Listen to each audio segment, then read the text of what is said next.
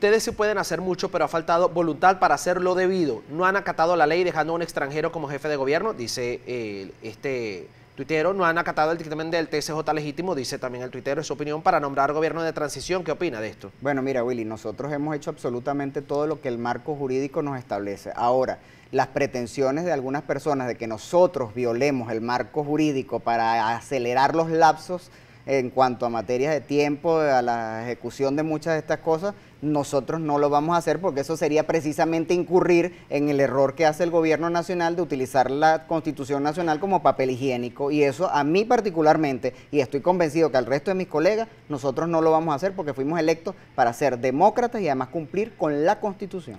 Gente organizada dice, diputado, ¿cuál es la función de la Asamblea Nacional según la Constitución eh, de la República Bolivariana de Venezuela? ¿Criticar sin ser escuchados o controlar al Poder Ejecutivo? ¿Cuántos diputados del oficialismo van a sus sesiones? Controlar, fiscalizar, legislar, son muchas las funciones que están contempladas en la Constitución Nacional en cuanto a la Asamblea Nacional y son bien claras y delimitadas en cuanto a que si nos escuchan o no nos escuchan. Miren, yo creo que es muy mezquino hoy en día atacar a la Asamblea Nacional cuando hemos visto ahorita a esta fecha un concierto de naciones a nivel internacional que precisamente voltearon a ver lo que estaba viendo Venezuela justamente después de que eh, llegáramos a la Asamblea Nacional y ahí hemos hecho el esfuerzo de denunciar en todos los foros y parlamentos internacionales del mundo toda la situación que nosotros Aprovecho de preguntarle, ¿cómo ve esa situación justamente ahorita que 11 países están diciendo que se puede entrar con pasaportes vencidos eh, bueno, por la situación migratoria? Eso fue, una, eso fue una propuesta que hizo además que aprobó la Asamblea Nacional, que fue eh, renovar automáticamente por cinco años el pasaporte y eso es una eh, propuesta que están acogiendo los países, reconociendo, por cierto, a la legítima Asamblea Nacional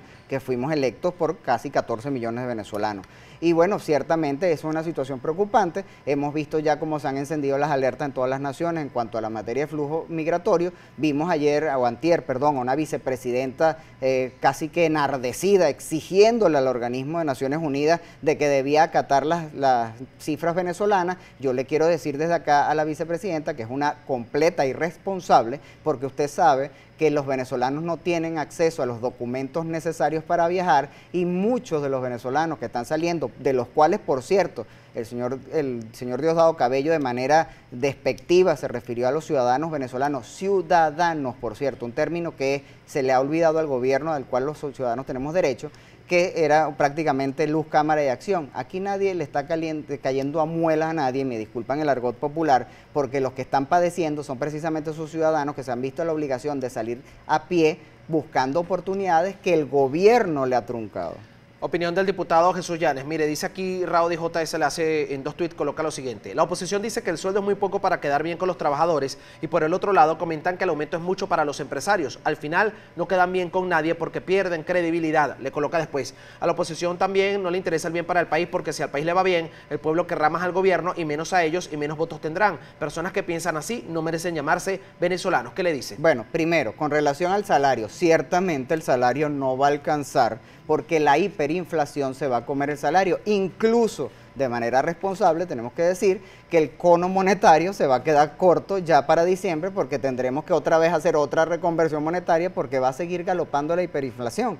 En, con relación al tema de que si los empresarios están en capacidad o no de pagar, la verdad es que no están en condición de pagar y no se trata de quedar bien con Dios y con el diablo, es simplemente decir la verdad, ni el salario alcanza ni el empresario tiene cómo pagarlo. El empresario se verá obligado a cerrar y el, la persona que, que necesita ese salario, que tampoco le va a alcanzar, por supuesto va a estar peor. Con relación al segundo punto que decía que era, disculpa si mal no recuerdo. Eh, ya le coloco acá, comentan que el aumento es mucho para los empresarios, al final no quedan bien con nadie, eh, ya, ya creo que lo dijo allí.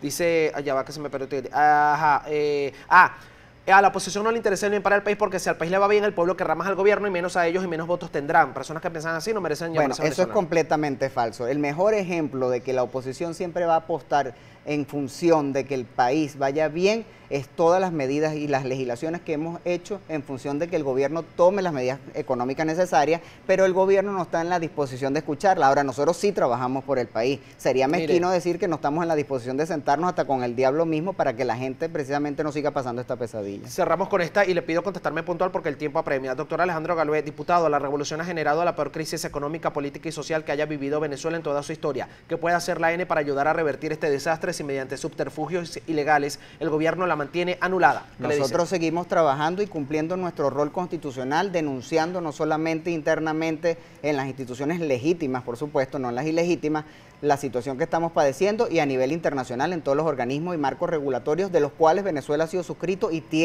que atenerse, guste o no le guste. Diputado, ¿cuáles son sus redes sociales para que la gente le pueda seguir? Solamente utilizo el Twitter, es arroba jyanesm. ¿No tiene Instagram? No, no tengo Bien, gracias por estar con nosotros, diputado. Jesús Llanes, además de diputado de la Asamblea Nacional, miembro de la Comisión de Asuntos Económicos, Financieros, Comerciales, Fiscales y Monetarios del Parlamento del Mercosur, hablando sobre la situación país, eh, sobre todo en el ámbito económico. A la pausa, 7 y 20 minutos de la mañana, enseguida regresamos con más, no se aparte.